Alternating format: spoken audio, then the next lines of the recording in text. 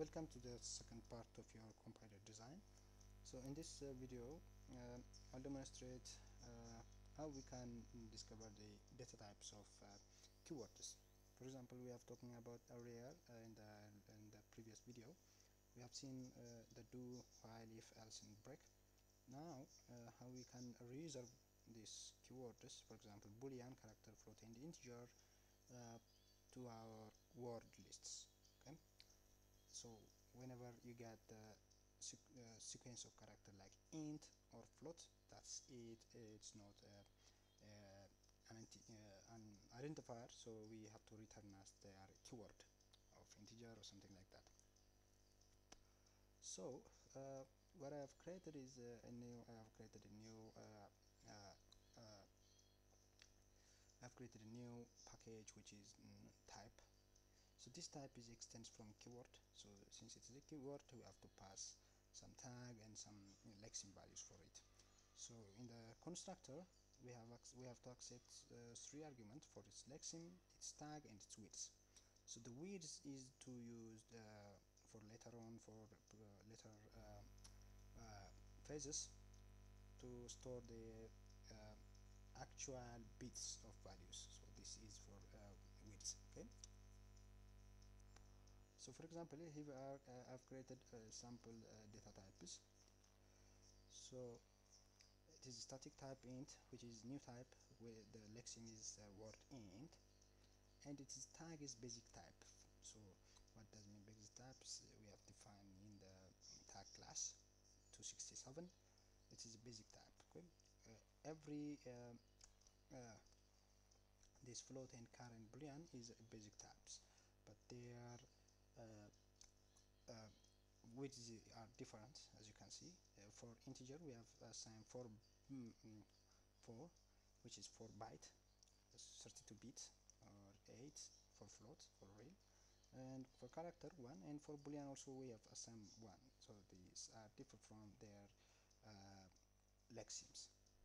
So these are uh, methods used for also the later one to semantic analysis is numeric for is numeric or if the types are int float and char are only uh, numeric.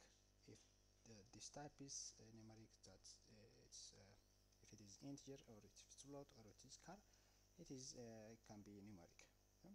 Uh, also we can define the maximum numeric type to for later on for semantic which one is the, the greater one. So the greater one is float in our case. If it is a float so we will return a float is integer so we will return integer or uh, uh, if it is not uh, numeric we will return a null variable okay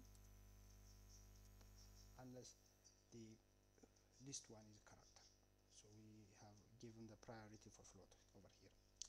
So we define like this one.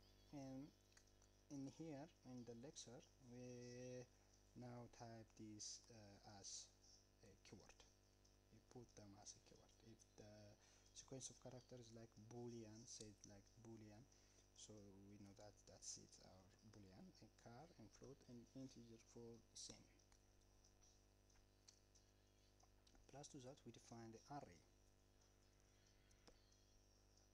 Array is the types of type so extends type. It's also have size and it uh, also have the type of. Its size if it give you size for example array 4 size we will multiply by the width of the type okay? then we give the assign the array type and the lexeme is you know, look like this. If you get uh, this kinds of sequence of this kinds of that's it an array okay? Sequence of this kinds of uh, uh, letter is an array. So we define this to uh, basic data types and we assign to our lexer so in this uh, video we will finish uh, uh, to search. So let me go to here. Let me define the Lexer instance here over here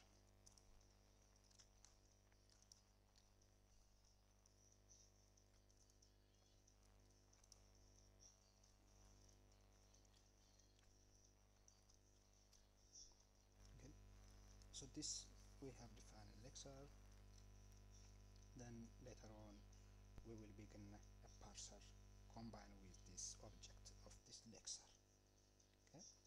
See you next video